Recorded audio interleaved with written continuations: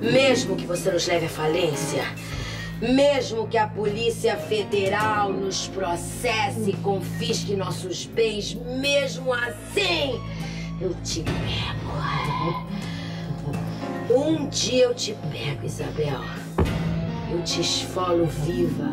Vilã geralmente ela não é, é politicamente correta, ou ela já entra de cara amarrada, entra de cara feia, entra mal-humorada, entra falando frases agressivas ou frases cínicas. Então, de cara, eu acho que dá uma certa antipatia. E a vilã é, uma, é um personagem que vai conquistando o público aos poucos. E eu não sei qual é a hora que acontece essa mágica para o público. Porque de cara, eu como telespectadora de novela, assisto todas, eu de cara tenho uma muita antipatia da pessoa que está vilã. Mas porque a pessoa entra, ela já entra muito é, grosseira, ou já fazendo alguma coisa, ou dando uma resposta. Nenhuma vilã entra, uau, maravilhosa, e depois se torna vilã. Mas eu não sei o que é que o público, no final, eles vão vendo aquelas maldades. Parece que vai acontecendo alguma coisa dentro da pessoa que não tem condições de fazer aquelas maldades ou que gostaria de se vingar. Enfim, é o subconsciente do público é que vai formando uma vilã e que no final acaba quase sempre se tornando uma protagonista de uma novela. É um encanto, isso é uma coisa que, que deve ter suas relevâncias, eu não sei quais são, mas é muito saboroso porque no começo você acaba, você é isso, você é aquilo, eu não gosto de ver a novela por sua causa. Eu adoro você como atriz, mas você está muito má nessa novela, você está muito má nessa novela. Na vida real não é assim. Mas nas novelas, a vilã já chega matando. A vilã envenena as pessoas. Então a vilã faz coisas que realmente, se todos fizessem isso, o mundo já estaria acabado há muito tempo. Uma mulher mandona, maltratava, tratava empregada meio pouco caso, não tinha grandes coisas, mas o texto dele é que me deu a vilã. Não fui eu, nem a minha postura, nem eu fazendo assim, não. O texto dele é que eu comecei comecei a me tornar vilã. Depois ela tem três filhos. Qual mãe que tem três filhos que não é brava com um dos filhos, que não chama atenção? Você não pode ser mãe boazinha o tempo todo. Politicamente correto, sim, você não vai bater num filho, mas você não pode soltar um filho e deixar ele fazer o que ele quer. Então tem que ter uma disciplina dentro de casa, tem que ter horário dentro de casa, tem que ter os valores familiares dentro de casa.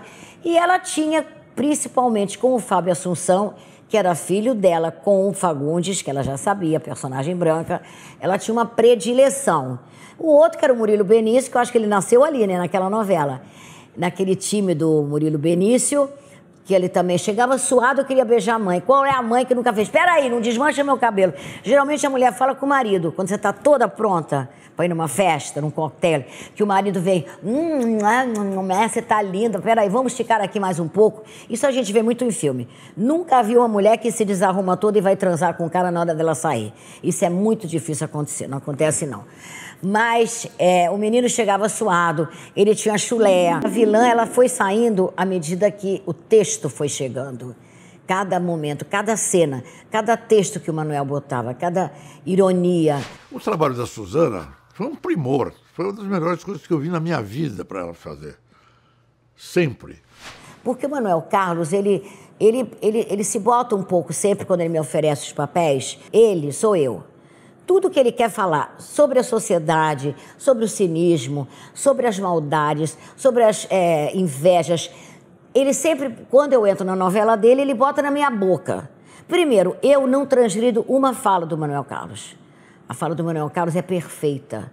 Não dá para você mexer em nada. Quando o texto é bem escrito, parece que eu pego o personagem assim, visto e entro em cena. O método de estudar um texto e de fazer uma cena boa não muda desde os tempos de Fernanda, Natália, Suzana Vieira, Renata Sorrá e qualquer atriz nova que esteja começando agora. É um só. Seriedade no trabalho, foco no outro ator e disponibilidade. Você tem que estar disponível para o diretor falar. Agora você cai no chão, você cai. Aí, se tiver que nadar no seco, você nada no seco. Você vai se dar bem. Eu quero agradecer profundamente esses anos todos que eu estou na TV Globo e todas essas preciosidades que vocês me falam que eu fiz. Eu agradeço profundamente e faço e continuo querendo fazer coisas novas e continuo querendo dar esse prazer para vocês e ter um grande prazer em representar, porque é muito bom. É muito bom fazer a vilã. E hoje em dia não dá para ser bonzinho o tempo todo não, tá? Tá? Não quero. Se tiver que me prender, vem me prender.